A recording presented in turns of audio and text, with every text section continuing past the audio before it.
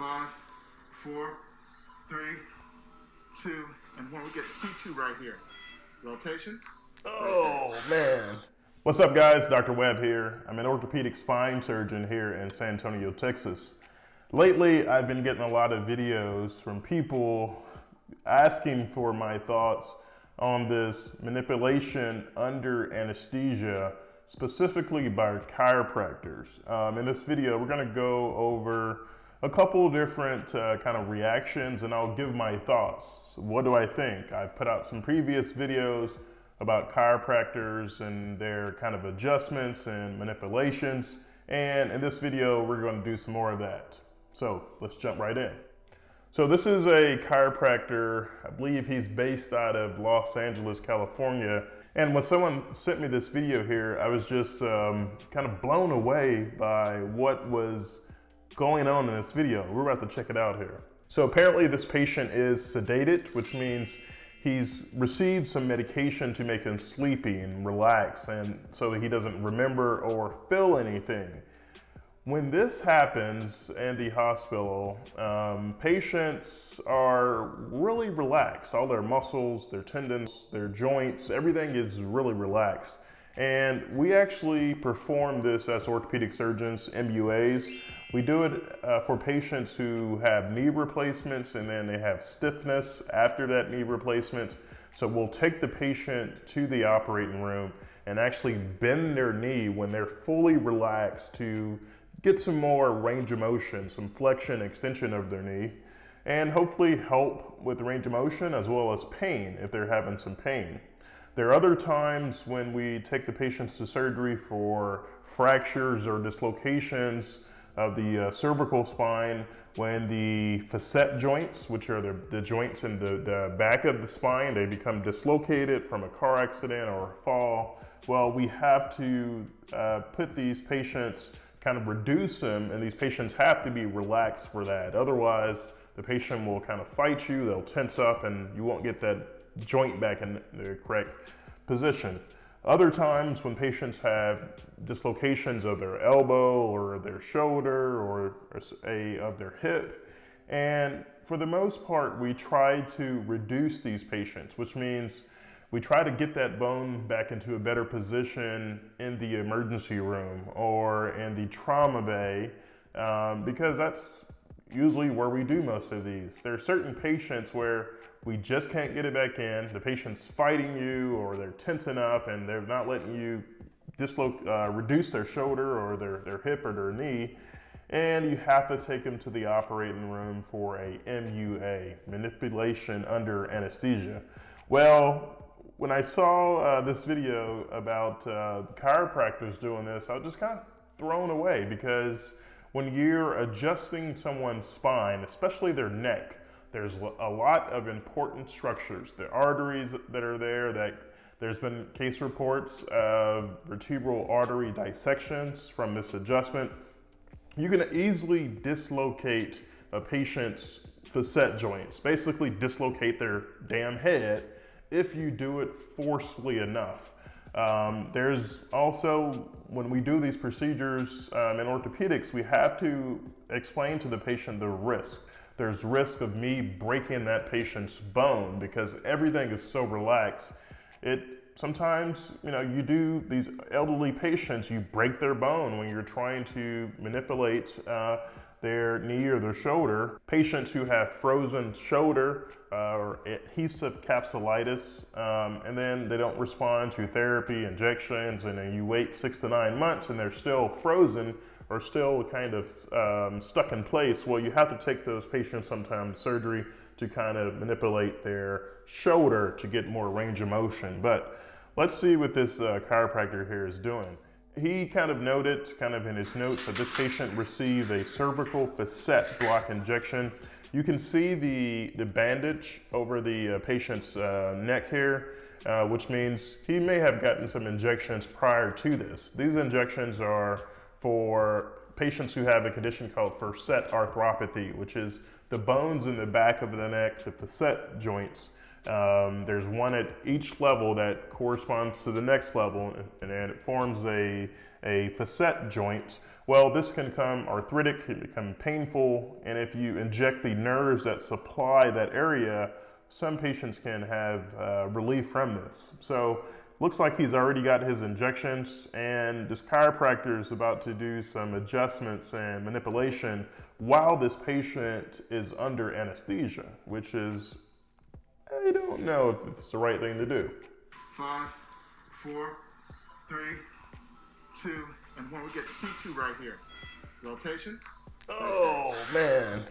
So this is this is actually this is actually pretty dangerous. So there's certain things and certain videos that I had commented on the past that I was like, uh, I don't know, kind of on the fence, but this is absolutely ludicrous. Uh, very unsafe. Um, I actually did some literature research and review. I didn't find any high level articles that support this. There are some case reports out there. And in orthopedics and medicine in general, we look at the level of evidence, level one evidence, randomized, controlled, double-blinded, uh, controlled trials. And uh, there's actually no evidence that supports this. Um, a patient that is that relaxed and you're adjusting their head that, that quickly and that forcefully, well, that's very dangerous in terms of the structures that are in the neck, fractures, dislocations of the, um, the joints in the neck, the facet joints, our uh, vertebral artery dissection. Uh, this is very dangerous, and I'm just curious which hospitals actually allow chiropractors to do this. And um, crazy. So apparently he interviewed the patient after his adjustment, and um, let's check out and see what the patient had to say. I was, I was terrified um, just by thinking about getting a shot in your back. It was just, I was terrified. I was very terrified and um, scared, and I tried to prolong the procedure just because I was scared. But you guys were very on it, and everything was like so quick. Yeah, you guys were. Now, you had to let the audience, if you remember, you had on the right side, if you remember, you had numbness and tingling. On my left side. On your left side, yeah, sorry. So you're right. You're right, my left. But you you had a lot of numbness and tingling. Is the numbness and tingling gone away? Yeah, it's completely gone as far as my my left my left my left side. It's Nothing's like, there. No tingling at all. Do you have any pain or discomfort when you're working doing your pumping situation? Um, after the procedure, no. No, no. Before no. procedure, yeah. But, but after, after procedure, no, no pain, nothing. No pain. Wow. No pain, no tension. What do you think about the videos? I mean, you for the first time you got to see it when we posted. it. Were you like shocked? Were you like, man, this is crazy? I can't believe that's me. I was mind blown, honestly. I was just like, at the same time, moving like, wow, like, yeah, it was just a different experience on in a good way, in a good way. Absolutely. Yeah. I was pretty mind blown too. I've never seen anything like that. I didn't know that chiropractors, you know, did these adjustments while patients were under anesthesia, which is crazy, and um, still kind of mind blown by it. So you guys got to see the history. You got to see him describe his feelings, what was going on when he got to the OR. You got to see and experience it. I'm not making it up. I do a full visit, uh, physical examination. I call it out before it even comes out. I don't need the MRI or the X-ray to give the diagnosis. The MRI is confirming what I already told the patient. In that part, I do agree agreed with the gentleman here. When patients come in to see a physician or a doctor, well, when we take a history, we do a physical exam, we have a diagnosis, something that uh, we may think is going on, uh, maybe going on with the patient, like cervical radiculopathy, which is a shooting pain down the arm. If it goes into the thumb, that's usually C6. If it goes into the index finger or the, the long finger, that's C7. So we have a general idea of what portion of the spine may be affected. We don't know to kind of what severity. Um, if the patient has, has weakness and also some radicular symptoms in their arm, it's possible that they have very severe stenosis or tightening of that nerve or spinal cord at that location. And then we use the imaging studies to confirm our suspicion or our presumptive diagnosis. So I kind of agree with him kind of in that regard. But in terms of these adjustments, these forceful manipulations under anesthesia, they're not, they're not safe. We're going to jump over to another video. Uh, this is another manipulation under anesthesia. Looks like this patient had like a full body adjustment. Like, um, I just don't think that this is needed um, when a patient's under medications and um, anesthetics. This is, this is pretty crazy.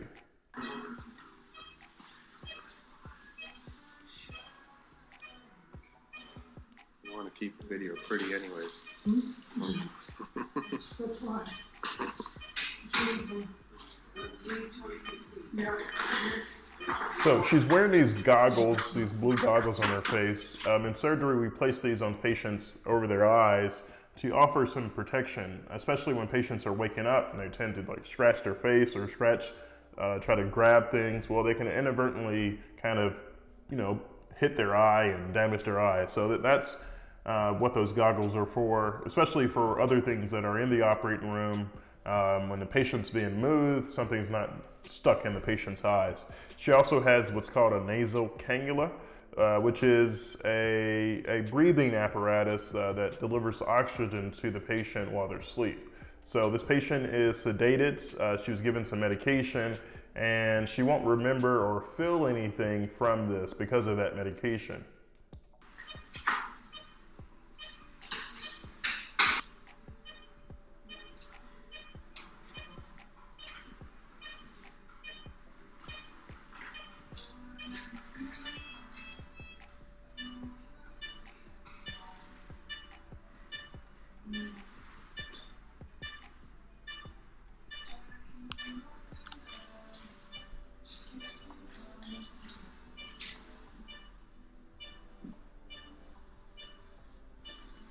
I'm not sure if both of these guys are chiropractors or one's like a surgical assist or some type of assist, but I'm not sure why it requires two people to do this.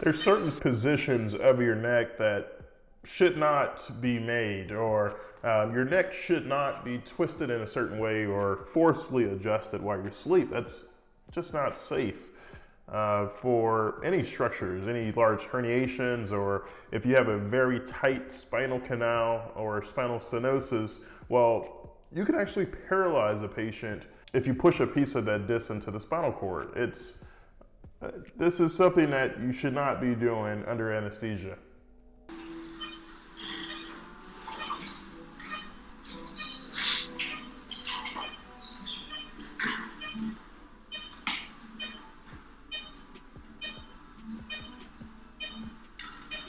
And this is pretty dangerous also. When you are pulling on a patient's arm like this, you can fracture their arm, you can dislocate their shoulder, um, and cause a lot of other injuries because the patient's so relaxed. Usually when a patient is awake, they can let you know like, hey, this is hurting, this you're, you're pulling too hard. Well, when a patient's under anesthesia, um, they can't tell you that. So you, it's this is very dangerous here.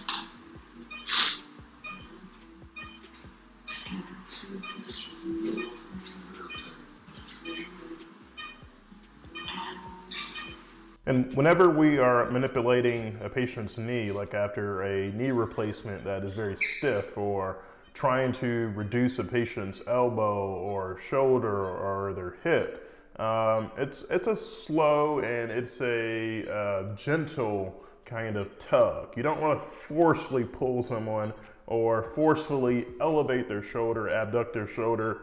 You can fracture it. Uh, you can cause injury. And doing these adjustments while the patient's asleep, you have to be very careful.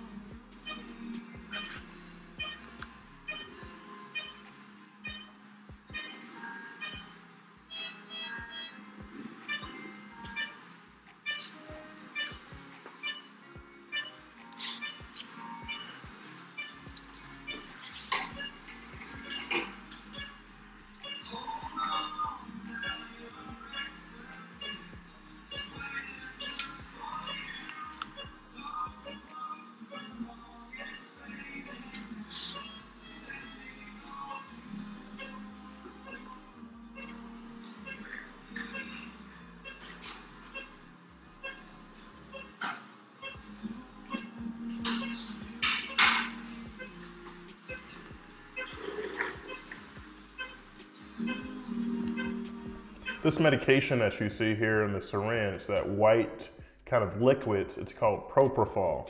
This is an induction agent. This, this is something that is used in patients in surgery to keep them asleep and also keep them relaxed. Um, this is also the medication that Michael Jackson, who was taking when he passed away. So it's that's why they call it the Michael Jackson medication or drug, propofol. Uh, patients uh, are really relaxed and they're asleep and they can't feel anything and they won't remember anything from that procedure.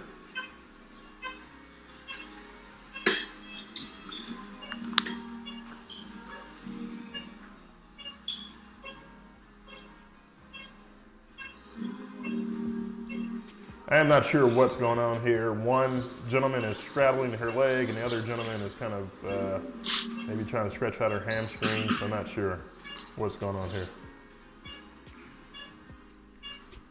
So these MUAs, manipulation under anesthesia, that are done by chiropractors. I just don't think that they're safe. There's no evidence that supports their its use, and after a very thorough literature review, um, most of the reports out there are some a few case reports.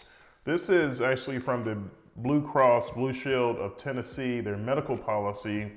They kind of suggested, and this was just reviewed on May 13, 2021, that manipulation under anesthesia involving multiple joints and serial treatment sessions greater than one is considered investigational.